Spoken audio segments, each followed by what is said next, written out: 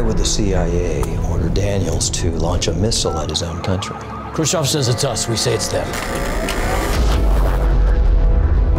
Operation is compromised. High level targets Washington, Florida, New York. Why does the CIA want you dead? We have Alexei Popolovsky. So what? If my commanding officer orders me to launch a strike on my own country, it's for a damn good reason. But who is your commanding officer?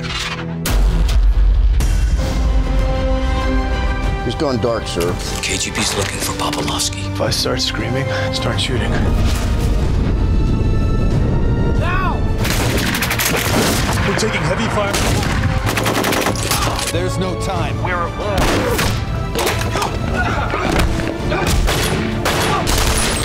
Remove your missiles, Mr. President. When gods wage war, it's men who must die.